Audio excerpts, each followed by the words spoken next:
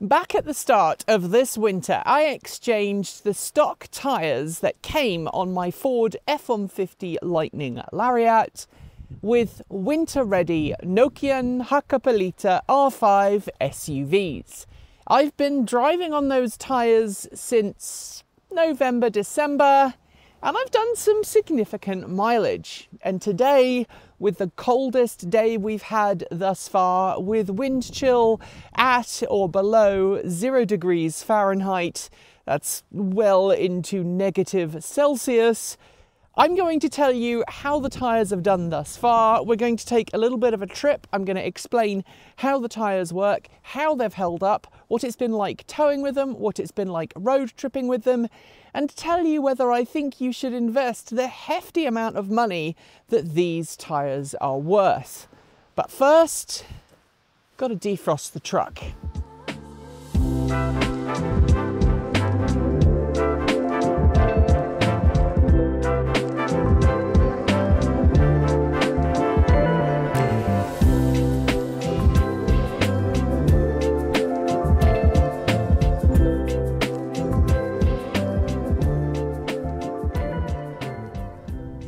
Start of the winter when we put these winter tyres on our F-150 Lightning Lariat.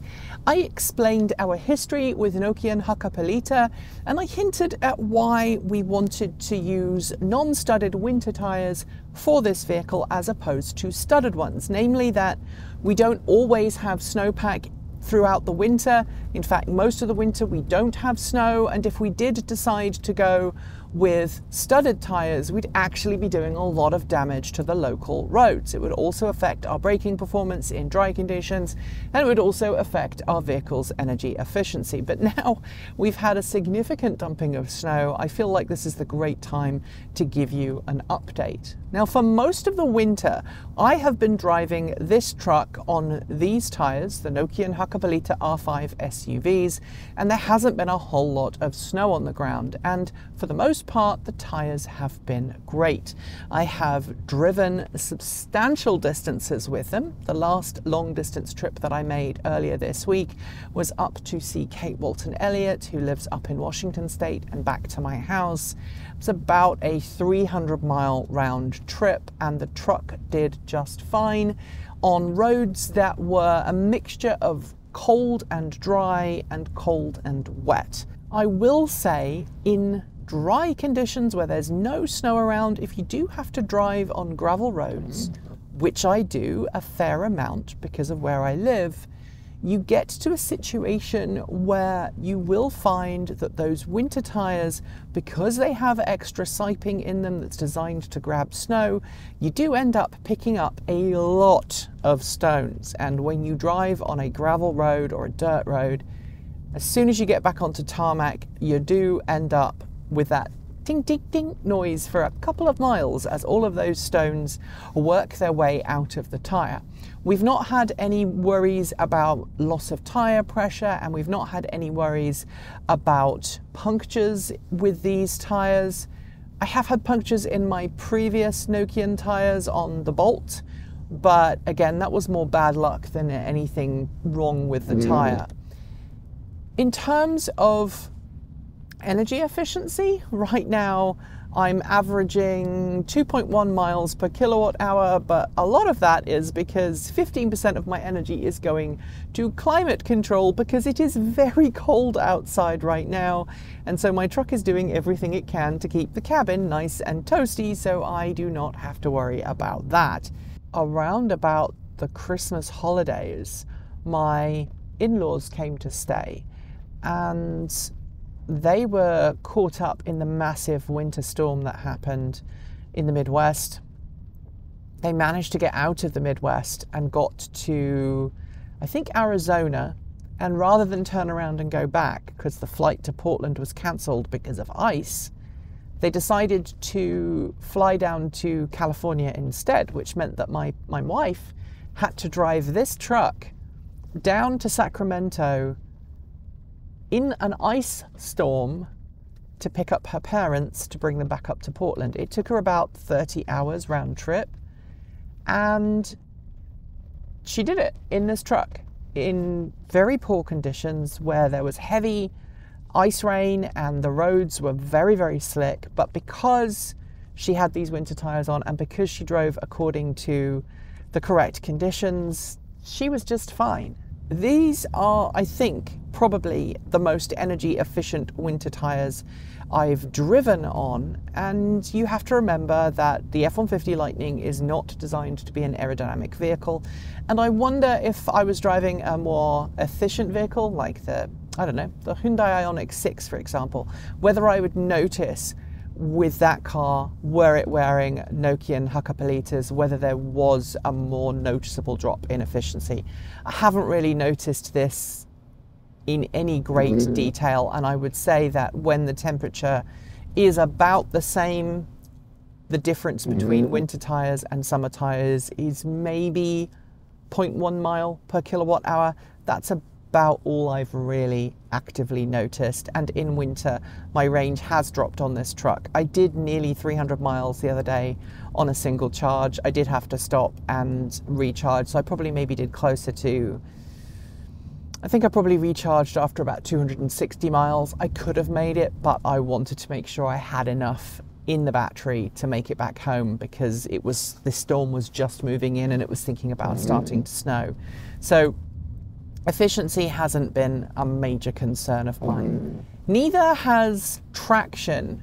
I've driven in a variety of different conditions with this truck, and for the most part, I haven't lost traction. I think I've lost traction today once, and that was more a case of hitting a really icy spot, and everybody else was sliding around too. My traction control sorted it out, and I was able to you know, carry on in the direction. I was able to stop, slow down. That has not been affected by these tyres. The other thing that is worth noting is that last week or the week before, I helped my daughter move house, and so I rented a small trailer, uh, one of those little trailers that you can get from from U-Haul that goes behind a truck or a car. It was a six by twelve trailer, and I was able to tow just fine and no issues. I've also towed Michael's car, Michael's Chevrolet Volt, which isn't exactly light. And again, no worries with the winter tyres. They performed just as well as the summer tyres when towing.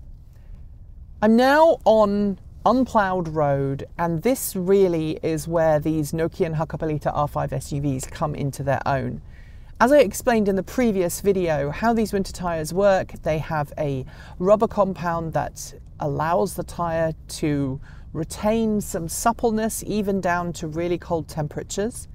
And it has sipes on the tyre that grip the snowpack and create a, uh, a band of snow around the tyre that actually increases your grip. If you ever remember playing with snow as a child and making a snowman, you'll remember that you know you make your snowman by by making a little ball of snow and then pushing it along the ground and it just gets bigger and bigger and bigger because of that friction on the snow. And that is how these tires work. They effectively grab hold of this fresh layer of snowpack and then allow your vehicle to use that snowpack to help you continue to have a healthy amount of grip. And in temperatures like this, it's now minus three degrees Celsius, which is what, 20 something Fahrenheit. It was minus four earlier, but it's down into the negative teens with wind chill. So the actual snow is a lot colder than what the truck is reporting.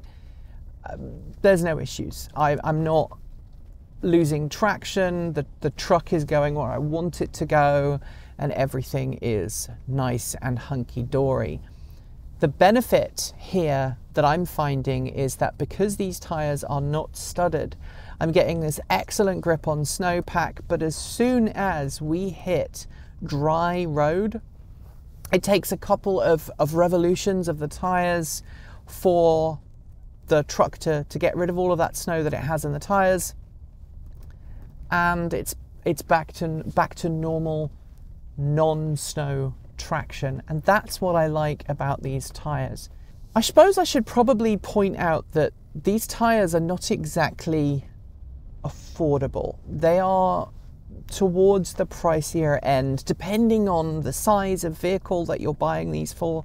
And as I said in our previous video, these are available as both SUV versions that are designed for, for trucks and SUVs and for passenger car variants.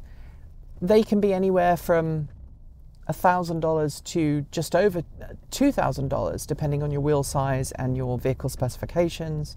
As always, you should check with your tyre professionals to make sure that you're buying the right tyres for your vehicle, especially with an EV, because EVs require um, heavier duty tyres than your average passenger car because EVs are heavier, and so you need to make sure that your winter tyres are actually rated to carry the extra weight that an EV brings to the party.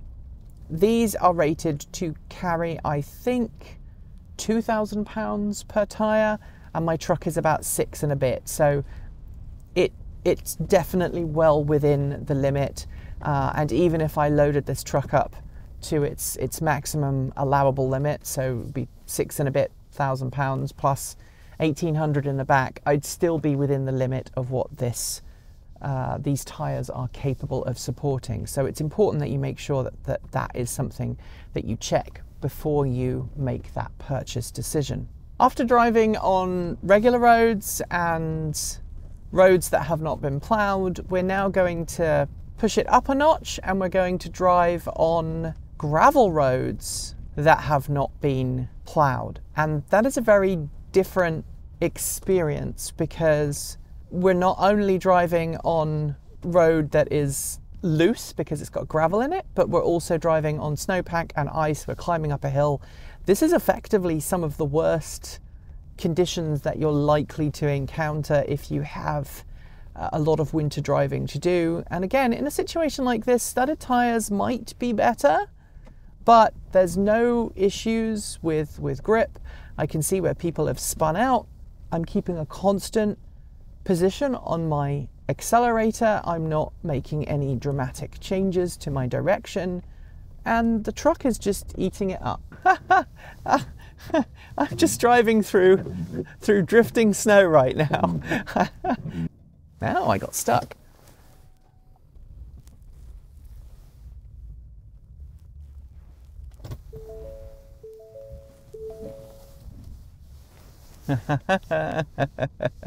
As I'm climbing up the hill here, we're hitting more and more fresh snow, areas where people have not driven before, and again, no slipping, no issues.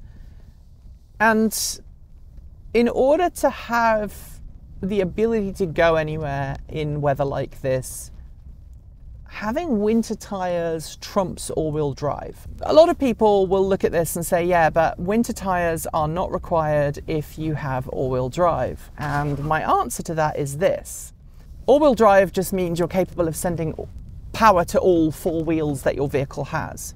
Winter tyres mean that your vehicle is capable of using that power and sending it to the road in as safe a way as possible, ensuring the best grip as possible. I have an all-wheel drive vehicle, but I can tell you there have been moments today when I would have been stuck had it not been for my winter tyres. I actually got stuck once with these winter tyres, and that was because I hit a snowbank a little bit too close, and that front end of the car went, no, no, we're not going through that, thank you very much.